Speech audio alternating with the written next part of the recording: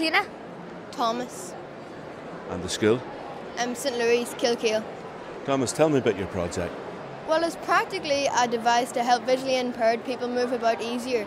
It uses two ultrasonic sensors to um, deflect, to um, it creates high frequency waves to deflect off objects close to it. So then the high frequency waves then come back to the receivers here, and then that waves are then transmitted into our headphones here, which are then used in your ears so you can see how far away an object is. It's pretty much like a basketball in a way. It bounces faster when it's close to the ground and bounces not so fast when it's further away from the ground. Our magic stick is the greatest evolution of the of the walking stick since it's been created.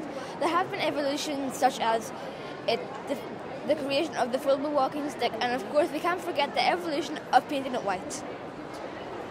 Well, if, here is our PCB board here.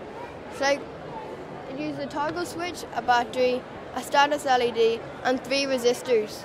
Here we have two resistors, and here we have the other. This is a variable resistor, which is here.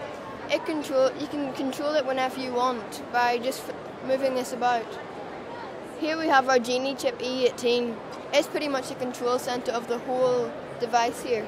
And here we have our two headphones here. How did you think of the project?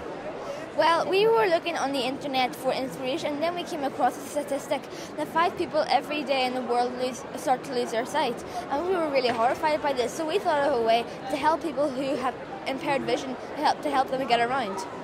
Have you actually tried the um, apparatus with somebody with impaired vision? Um, yes, and it's worked out very well. They could almost walk around the whole arena here. Wow, that's fascinating. Tell me this how important do you both think it is for students like yourselves to study STEM subjects at school? Very good, because it could help you when you grow up and leave college and try to get a job somewhere important. And it also helps you with the core subjects, and it's just really, really great rather than the more detailed subjects, really. And will either of you use this knowledge whenever you leave school to go into a STEM related career? Um, Well, hopefully, yes, it should bring us on a further career in this. Yeah, hopefully we will get a job in STEM technology. Thanks very much and the very best luck. Thank you.